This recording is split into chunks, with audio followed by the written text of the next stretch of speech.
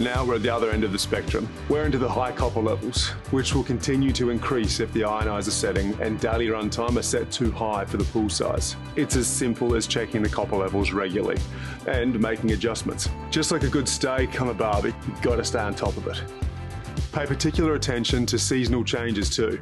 If the copper is accidentally overdosed, the ionizer output can be turned off for weeks or even months. Then you'll be waiting for the copper level to drop to the recommended operating level, which is 0.2 to 0.4 ppm, parts per million. Thankfully, the EnviroSwim system will continue to perform at full capacity using the ultrasonics and oxidizer, because unlike most pool chemicals, copper and silver don't evaporate. Therefore, the residual copper will only deplete when doing its job, which is killing bacteria and algae.